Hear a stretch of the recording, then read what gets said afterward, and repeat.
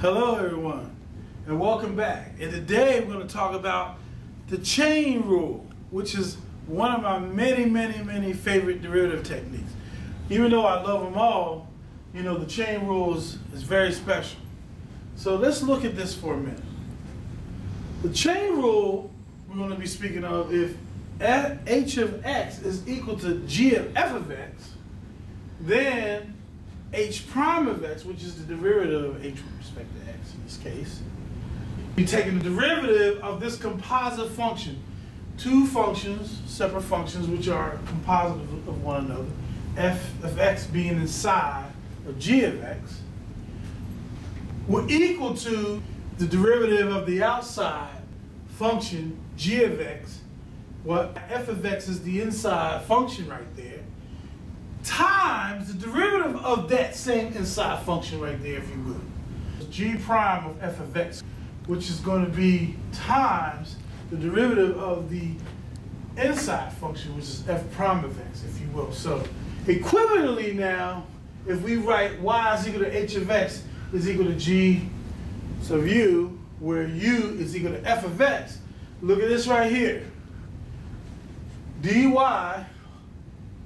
over dx, which is the derivative of y with respect to x, is equal to the derivative of y with respect to u, u times the derivative of u with respect to x. So let's say that again. This here equals to the derivative of y with respect to x, which equals the derivative of y with respect to u times the derivative of u with respect to x. Now, remember we said here, this is the inside function, and this is the outside function. So as we go back up here again, the derivative is being taken of the outside function g of x actually, right? And the inside function f of s is going to stand fast. But then it's going to come out, it's going to be differentiated with respect to x in this case, is going to be what? f prime of x. So this whole thing being differentiated on the outside, right, which is this is on the inside, you're going to times it with the f prime of x on the outside. So we're going to see some problems in just a second here, and we're going to talk about this in its entirety. And so actually, again, as we go, and let me just make one more comment about this rule right here one more time. After you differentiate, and after you actually take the derivative of, of y with respect to u in times the derivative of u with respect to x, then you actually are actually, this is another way of looking at it, plugging the original u right back into the function. So basically we can look at it that way too, if we will. Without further ado, let's look at a problem here. Find dy over du, find du over dx, and dy over dx, and express dy over dx as a function of x.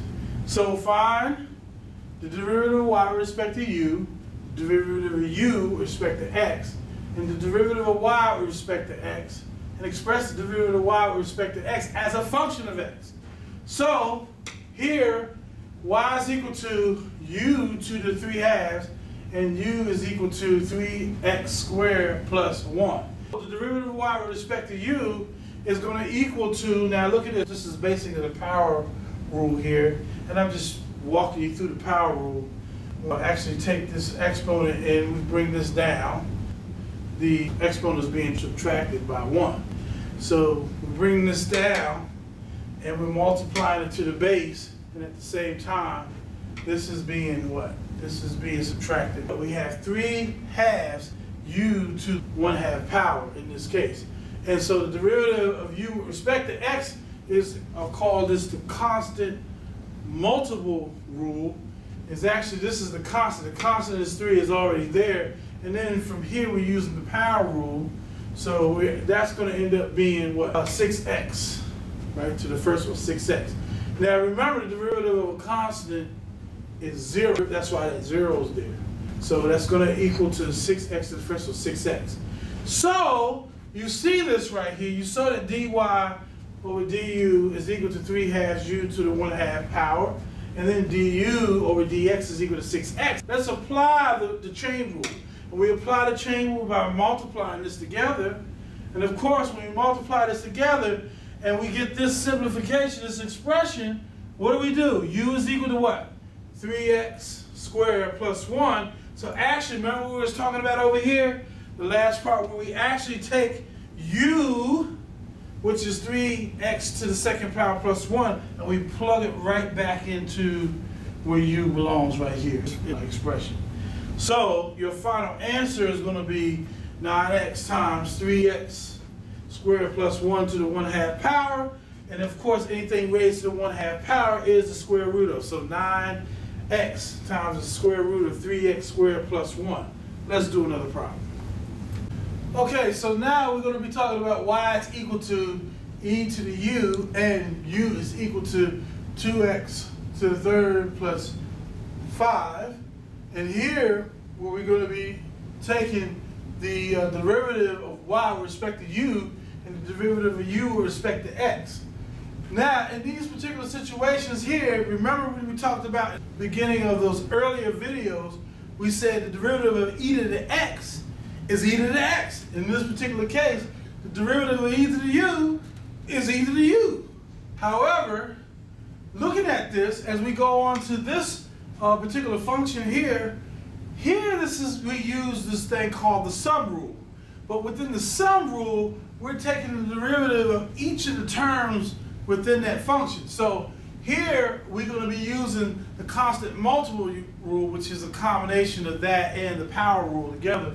And of course, you know the derivative of a constant is zero. So with that yet said, you know, we have 6x squared as our derivative for the derivative of u with respect to, and for this, uh, the derivative of y with respect to u is e to the u. So now we apply the chain rule, the chain rule here, which is of course the derivative of y with respect to x is equal to the derivative of y with respect to u times the derivative of u with respect to what?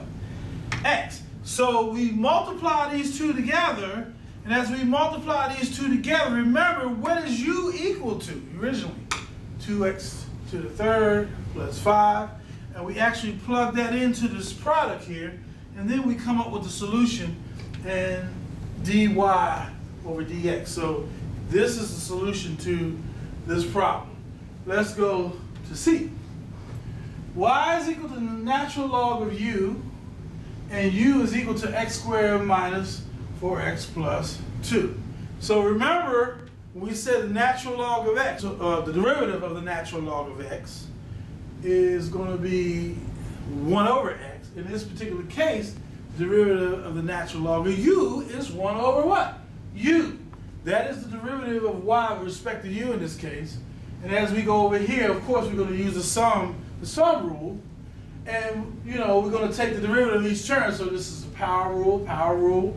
Okay, the derivative of a constant is going to be zero. So in this case, you're going to have for the derivative of u with respect to x is going to equal to 2x minus 4.